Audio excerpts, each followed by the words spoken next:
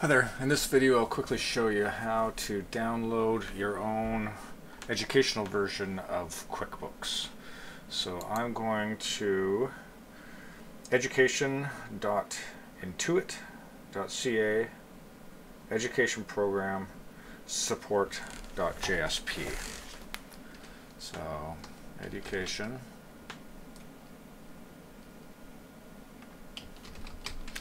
Intuit CA education uh, dash program slash support JSP.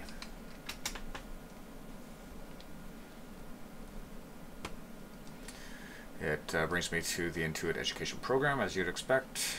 Um, I'll choose for students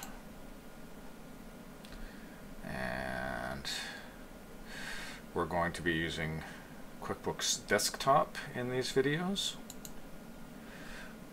So make sure you have desktop. Sign up for free. And then add your school information. So i choose Marcus. And my school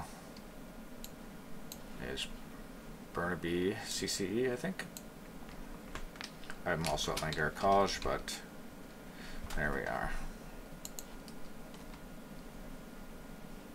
Type of school. I think it's a community college. Name of course. Bookkeeping.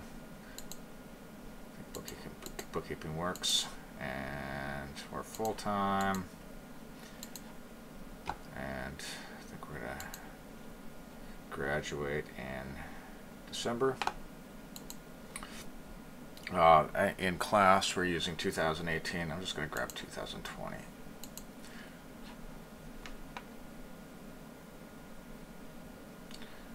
uh, I'm gonna go with this one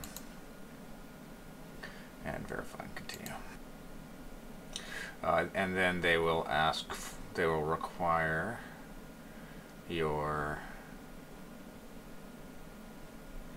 uh, tuition receipt or something like that. So choose that and upload it.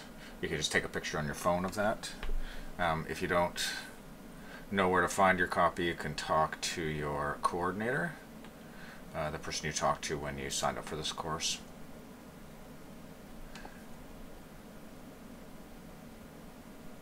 Class schedule, that probably will work uh, just the uh, syllabus that I shared with you.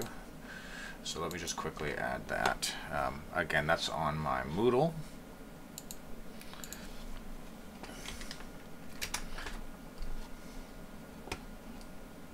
I'm just going to quickly grab that and save it to the desktop. That'll probably work just fine, hopefully. That's from my LMS.